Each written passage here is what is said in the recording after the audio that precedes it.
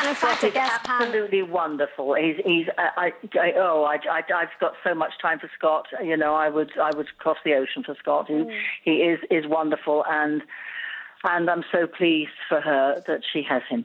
Yeah, me too. Well, of course, as much as we all want to protect and look after Barbara, it's also having to look after Scott and the family members around the person that's suffering, Yeah. True, isn't it? Because it's so difficult for everyone And involved. ev- Every four minutes, someone is diagnosed with dementia or Alzheimer's in this country. It's a real big problem now. Yeah, it's really Yes, it's scary. something that's got to be, uh, you know, we've got to tackle that. Uh, uh, you know, the medical profession have got to, uh, you know, tackle it pretty soon because it's it's it's doing terrible, terrible destruction. As as you're all thinking quite rightly, uh, because of the carer, and that that you know, it, it's it's.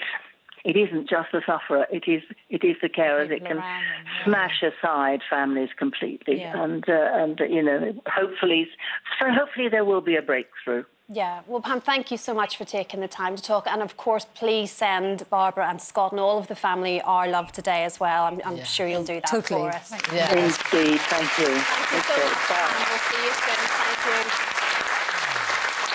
Thank you. Just, you hear it so often now, don't you? It's yeah. just, you know. I think it's so hard because we know Barbara so well, um, and she's so bubbly. I think and we sort all feel like we so do, on. don't Yeah, we? we we, do. yeah, we do. It's It's just hard to believe scariest that she's diminished in any way. I mean, whether it's speech or whatever. My sister died of Alzheimer's, and it, it is so devastating for And the my mum family. did as well, Your yeah, mum did, of course. yeah. Uh, so you're right when you say that the family needs support and a bit of guidance because I think at the beginning if somebody forgets the words or gets it wrong your inclination is to say no no no no you meant to say sun but you said moon but it's still better not to qualify No. that Yeah. and just to let it go So, so there isn't an actual cure for it as of yet. There, there is medication that can sort of slow it down, I think. Yeah, Right, the yeah. They first take- phase, yeah, yeah. The tragedy is that there aren't enough uh, nurses for to understand dementia and Alzheimer's in this country. It's one of the really weak areas Mm. because the training hasn't gone into that particular sphere of medicine, and I think they're trying to address that. Yeah. Right. Because you, you need a lot of understanding. Of course. Yeah.